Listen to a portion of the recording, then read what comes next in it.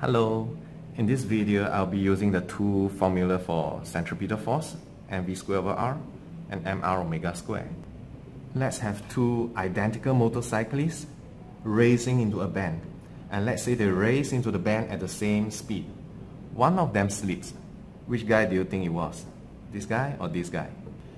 Since this is the circular motion that they are doing, the center of the circle is here, which means the centripetal direction is this way.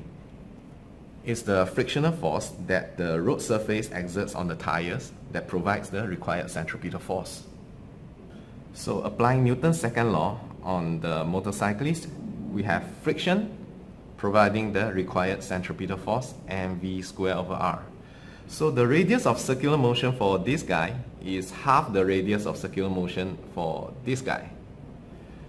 A smaller r implies a larger frictional force because a tighter turn at the same speed requires a larger centripetal force. So if only one of them skids, it has got to be this guy.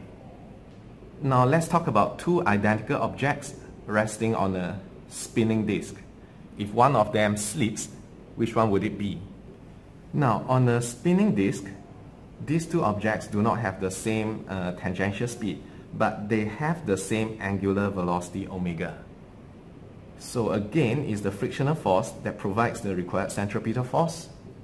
But this time we are going to write frictional force equals to mr omega square. This object is doing circular motion with a much larger radius. So a larger radius implies a larger frictional force. This because for the same omega, a larger R requires a larger centripetal force. So if we slowly increase the omega of the spinning disk, this guy is going to slip first. So basically, for the same speed, a tighter turn requires a larger centripetal force. But for the same omega, a wider turn requires a larger centripetal force.